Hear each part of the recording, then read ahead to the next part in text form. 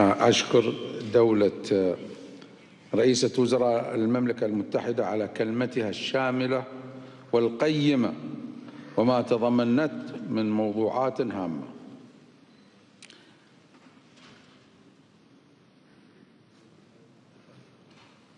تفضل.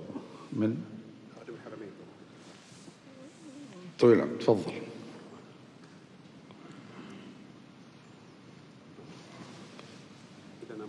نعم. أبتدي الله يسلمكم إي نعم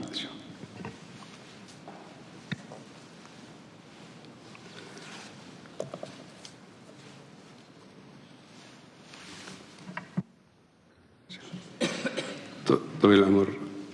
صاحب السمو الشيخ صباح الله يسلمكم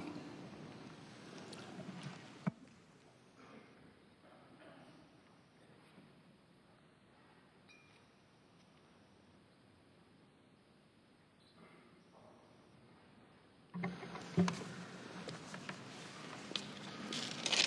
الله الرحمن الرحيم. جلالة الملك حمد بن عيسى الخليفة ملك مملكة البحرين الشقيقة. معالي تيرزا ماي رئيسة وزراء المملكة المتحدة الصديقة. أصحاب الجلالة والسمو أصحاب المعالي والسعادة. السلام عليكم ورحمة الله وبركاته. يسرني بداية أن أتقدم بخالص الشكر والتقدير. إلى أخي جلالة الملك حمد بن عيسى الخليفة على استضافته لهذه القمة الهامة. مع حليف استراتيجي نرتبط به بعلاقات تاريخية وروابط عميقة ومصالح استراتيجية. في وقت نشهد فيه تحديات سياسية واقتصادية وأمنية. تتطلب التشاور والتنسيق للوصول إلى رؤية مشتركة نتمكن من خلالها من مواجهة تلك التحديات. كما يسرني أن أجدد الترحيب بمعالي السيدة تيريزا ماي رئيسة وزراء المملكة المتحدة. مشيدا في هذا الصدد بما تضمنته كلمة جلالة الملكة استهلالية من عبارات انعكست عمق ومتانة العلاقات الخليجية البريطانية وال- والبعد الاستراتيجي لتلك العلاقة.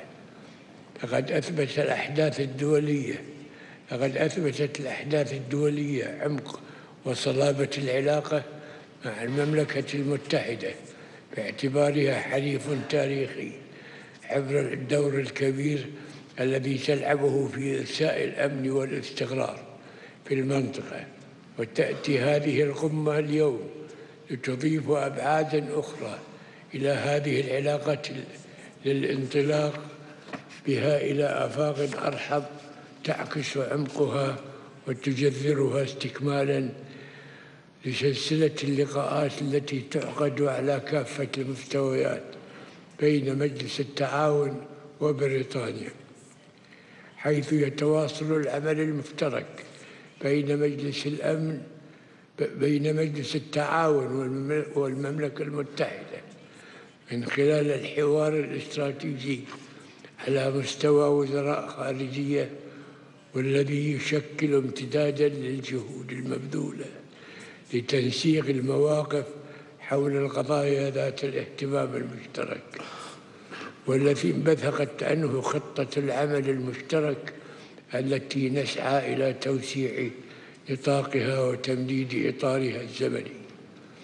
أصحاب الجلالة والسمو تعتز بلادي في الكويت بعلاقات الصداقة التاريخية الراسخة والمتميزة مع المملكة المتحدة والتي بدأت منذ قرون مضت. كان سعينا المشترك فيها متواصلا. لتوطيدها وتعزيزها في كافة مجالاتها السياسية والإقتصادية والاستثمارية والعسكرية والثقافية.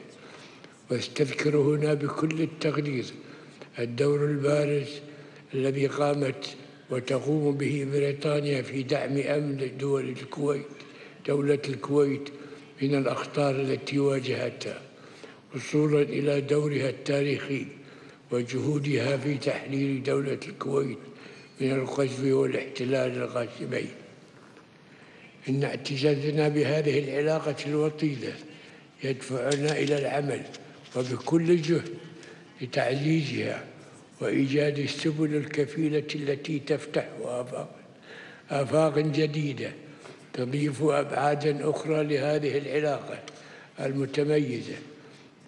فكان التوجه لتشكيل لجنة مشتركة تضم كافة القطاعات ذات العلاقة في البلدين استطاعت خلال السنوات الأربع الماضية من تحقيق خطوات مهمة في طريق الانطلاق بهذه العلاقات بما يعزز التواصل بين الشعبين الصديقين ويضاعف من الشراكة الاستراتيجية. بين بلدينا وسيستمر هذا العمل لنضمن بلوغ الأهداف التي نسعى إليها ونصون بها العلاقات الاستراتيجية التي تربط بلدينا الصديقين وفي الختام أجدد الترحيب بمعالي السيدة تريزا ماي متمنيا لأعمال اجتماعنا. كل التوفيق والسداد. والسلام عليكم ورحمة الله وبركاته.